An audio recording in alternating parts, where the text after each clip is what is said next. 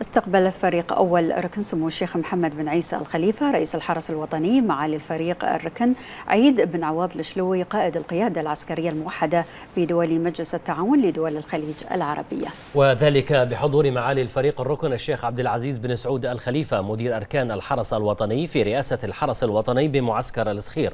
وخلال اللقاء رحب سمو رئيس الحرس الوطني بمعالي قائد القيادة العسكرية الموحدة بدول مجلس التعاون لدول الخليج العربية مشيدا بالدور المحوري الذي تبذله القيادة العسكرية الموحدة في ترسيخ وحدة الهدف والمصير الذي يربط دول مجلس التعاون لدول الخليج العربية.